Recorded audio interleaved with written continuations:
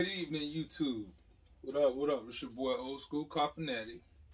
Um, ready to get started, man. I'm gonna talk about this topic. You know, I know I've been going in on a bunch of different things, but it's uh, things that I feel that I want to share with the public, and I think that the people who don't know need to know it, man. You know, some people might be might need to hear the advice that I give. You know what I mean? And I'm proud of what I do, and I like what I do. Um, I don't have a million followers or viewers yet, but I might one day because you know what? I believe in myself. So, this your boy Old School Car Fanatic. We're going to elaborate on the topic of triggers, being triggered, triggering, being triggered while you're under the influence of alcohol and drugs, mind altering substances, being triggered and being influenced to make a wrong decision by the wrong people. They're supposed to be your so called friends homegirls and people you road dogs, but they triggering you and they influence you to do make a bad decision.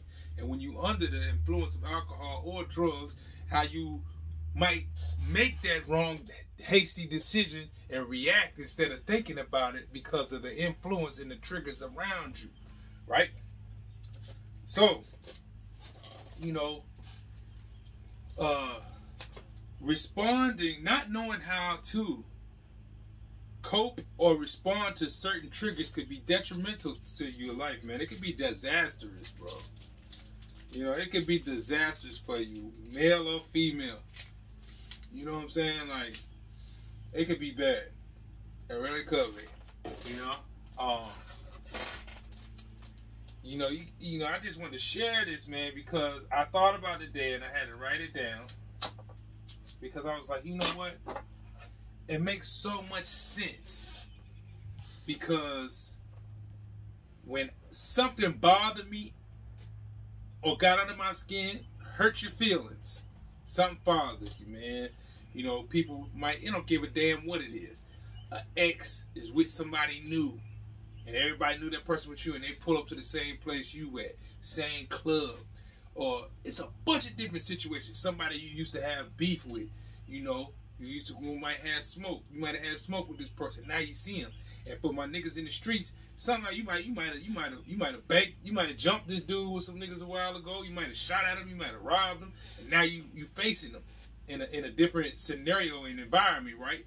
And and you might have changed your thought pattern pattern and how you move and how you look at life and things now. You might have changed, but that shit you did in the past is still there. So this triggering situation pop up out of nowhere. Boom. That's what they say, you know, like the past creep up and haunt you, right? Let me spark my cigar so we can keep on talking. Because I'm sharing some knowledge with y'all, man. I hope I get to somebody. A lot of people know this already and a lot of people don't. So I'm doing what I do. I'm preaching. Ghetto gospel. Yeah, man. So you know, if you ever been in a situation where you saw somebody you had beef with, or you seen them in the store, or you just out by yourself, and you know, and especially you know, especially these these people that supposed to be so gangster, right? And but when they be by themselves, they be on their best behavior.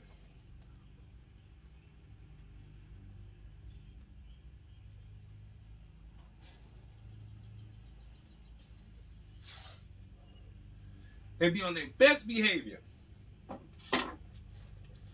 You know, some people, and then this is the thing too, you got to be careful.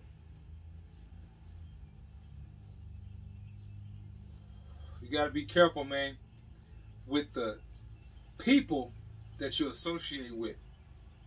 See, some of these people that you deal with, you know, you think they're your, your riders, you think they're your day ones, you think they no, no, you got always got secret enemies, man. And, and then baby and them put it the best. You know, envy, you know what I'm saying, is dangerous. You know what I'm saying? Because a hater, like they said, is a mile away. A motherfucker that envy you is right next to you. They want to benefit from you, but they don't like you. They hate you. They want everything that you got going on, right? But we we can go on to that, and that's a whole other topic. But these triggers, being triggered.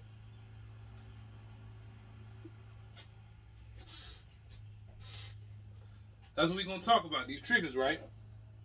So being triggered, man, you know, is dangerous, man.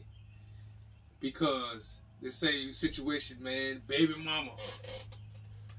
And as a man, I don't give a damn how tough you is and how gangster, you know, pimped out you is. You know, if it's your bottom bitch, excuse my language, or you know, it's, it's, it's somebody you got feelings for, right?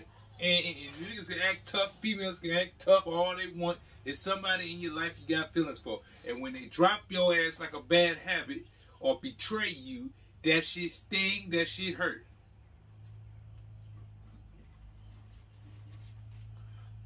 Some of us finally get a dose of our own medicine, right? Because what you put out in the in the universe come back. That's that karma. You know what I mean? But so you see somebody in the club, at the mall, at a restaurant that you dealing with, they with somebody else, the breakup or whatever is fresh. It be triggering. A lot of shit happens, man. A lot of people is in jail. A lot of people is in dead because of a trigger. Like this feeling, this emotion got triggered, and you was under the influence of alcohol or drugs, and or the wrong people. These so-called friends that yeah, go get that nigga, man. You gonna let that nigga handle you like that? You let talk to your bitch, you gonna blah, blah, blah, blah, boosting you up to go crash. Now you sitting in jail or six feet deep because you let something trigger. You didn't know how to deal with that trigger, and you let so-called friends influence you to make a, a life uh, changing decision because you didn't think about it, right? You know, because you were so angry and in the moment and triggered. You didn't just react it. You know, and, and knowing and recognizing these triggers and knowing how to deal with them, because some of them, you know, you know, even if you got some kind of self-discipline and control and dignity, right? You see some situations just you want to take it there, and it take a lot to turn the other cheek, walk away, and don't care what a nigga say.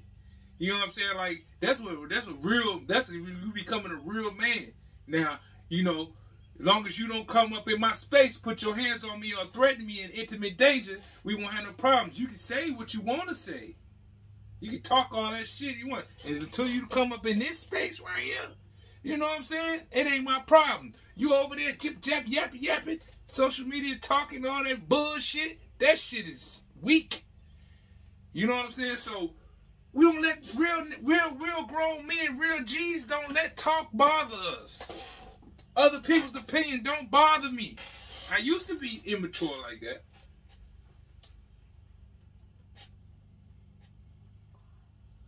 Worry about what a nigga say. Letting what a nigga say bother me. You know what I'm saying? Worrying about what people think. You know what I mean? excuse my French, but fuck these people out here, man. These people don't give a fuck whether you're doing good or you're doing bad. And oh, and um, yeah. So damn, some disturbing stuff, I information I just got. But anyway, you know, uh and you react to that shit, man. You can't let these people get in your head. They get in control of your mind. There, that's when you get triggered, and now they in control because they you react to that to that bullshit that triggered you.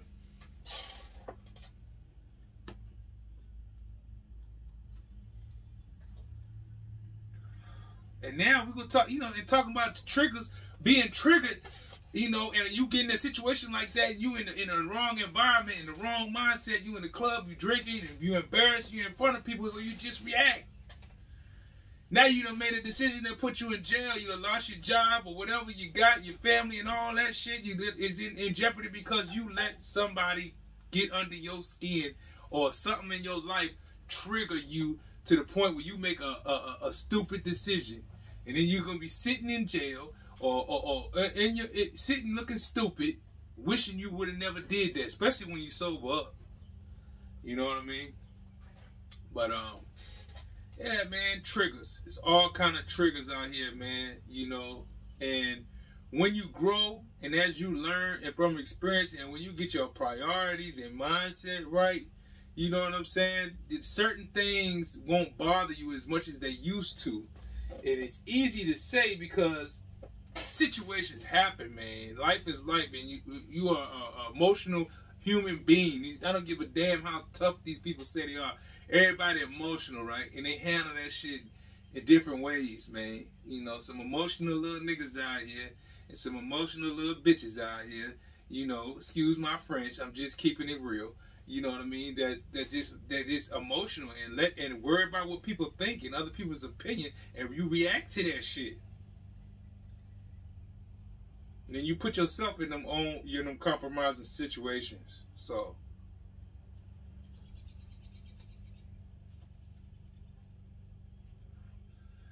Pay attention to yourself, man. You know, learn about them things that trigger you, them people that trigger you, them situations. Take a look at your surroundings. Take a look at your environment.